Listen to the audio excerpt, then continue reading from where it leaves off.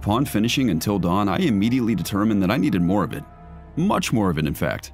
Sure, I'd managed to get the majority of the exceptional cast killed along the way, but the journey of discovering the secrets of Blackwood Pines was rife with laughs, thrills, spooks, and bloody carnage. A drug, really. A high of which couldn't be attained through the Rush of Blood VR experience or the inpatient. I needed another angsty cast of young adults to band together in a fight for their lives against the supernatural with severe consequences. Fortunately, Supermassive Games returns to the roots of Until Dawn with the Dark Pictures anthology Man of Medan. The best news is it's exactly what I was hoping for. Man of Medan is the pilot story of Supermassive's horror anthology series titled The Dark Pictures. Inspired by the likes of The Twilight Zone, each episode of the series stands on its own with an original narrative and cast of characters. Man of Medan follows a group of friends who embark on a diving excursion across the Pacific Ocean. A run in with pirates leads them to a World War II era battleship that's long been adrift. As the player, it falls on you to keep them all alive as they unravel the mystery behind the sinister forces aboard. Admittedly, the story's incredibly predictable. I won't be the only one to have figured it out within the first 10 minutes. However, what I found more interesting is how the game manages to deceive you in spite of your knowledge. There are several moments when the characters essentially spell it out for you, and still, I managed to screw it up. It's undoubtedly by design, and I love it. Similar to Until Dawn, paintings are scattered throughout the world, providing you with brief glimpses of what can occur, some of which I found helpful, others never came to fruition. Some imagery, of which I won't spoil, has me questioning if there's much more to the story than meets the eye even upon finishing the game. The characters are as equally compelling as Until Dawn's cast. All of their performances and interactions are great, but Shawn Ashmore steals the show. I grew to care for each of them by the end of the game, but unfortunately lost a couple before credits rolled. Devastating, truly, but well worth the ride and definitely a second playthrough. Beyond the primary cast, I'm most interested in the curator. The Rod Serling-like host of the Dark Picture series, the curator lives outside of the story in a Victorian area repository where he coaches you along your journey. Sometimes he'll offer tips, other times he'll have you questioning everything. Performed by Pip Torrens, the curator's opulent, sophisticated disposition is immediately captivating. Fortunately, he'll be the host of every Dark Pictures episode. I can't wait to learn more about his character and the library of stories he possesses. The Medan itself has its spooks.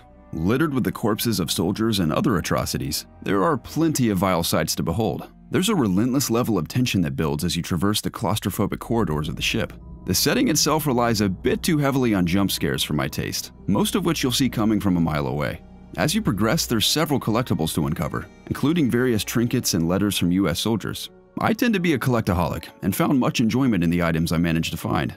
Though I admire stories bound mostly to a single location, I found the Medan to be rather mundane by the end. Many areas of the ship begin to blend together, and I was prepared to escape by the end of my six hour run.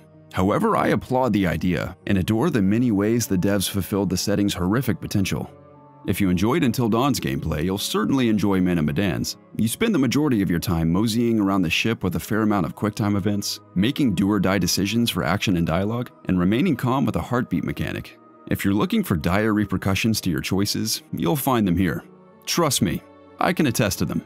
The game demands your unbridled attention and keeps you on edge from beginning to end. I managed to drop the ball in a few encounters by merely looking away from my screen for a few moments.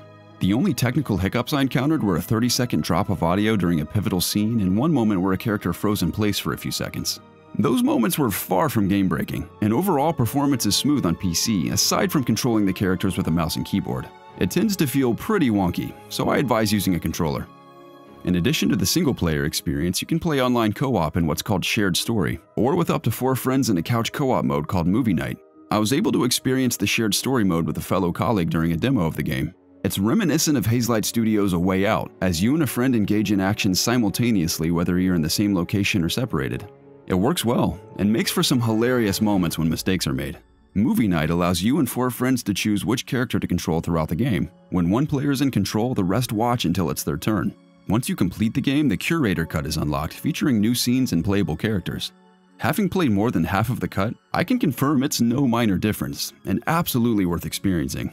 Man of Medan's graphically breathtaking. The visuals are practically photorealistic and complemented by excellent animations. There are a handful of uncanny facial expressions throughout the game, but the majority of them are gorgeous. The rusty, blood soaked corridors of the Medan are eerily mesmerizing, and many of the evil entities within are effectively terrifying. Immersive audio is paramount to a compelling horror experience, and Supermassive nails it.